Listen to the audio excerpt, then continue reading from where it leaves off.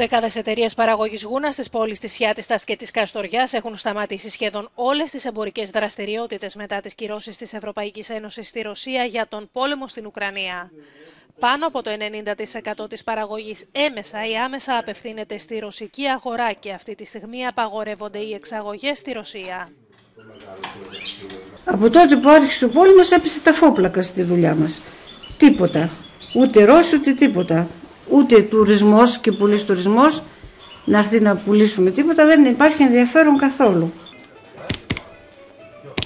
Σύμφωνα με τα στοιχεία του επιμελητηρίου Καστοριάς, η Γούνα απασχολεί το 35% των εργαζομένων της πόλης και το άνοιγμα σε νέες αγορές είναι από δύσκολο έως αδύνατο, καθώς δεν μπορεί να αντικαταστήσει το 90% της αγοράς. Τα προβλήματα, ειδικά ο, ο πόλεμος της Ρωσίας, αλλά γενικότερα το, το εμπάργκο μας έβαλε την ταφόπλακα. Μπορούσαμε όμως να το κάποτε υπήρχε εμπάργκο ξανά, αλλά υπήρχε διαπραγμάτευση με το, τους Ρώσους και η Γούνα είχε εξαιρεθεί από το εμπάργκο.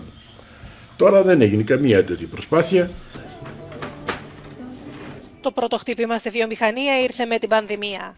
Εκατομμύρια βυζών θανατώθηκαν σε φάρμες, καθώς κάποια από αυτά βρέθηκαν θετικά στον κορονοϊό μην μπορώντας πλέον να εξάγουν τα προϊόντα τους, πολλοί είναι οι παραγωγοί που μετακομίζουν στη Ρωσία προσπαθώντας να βρουν εκεί δουλειά.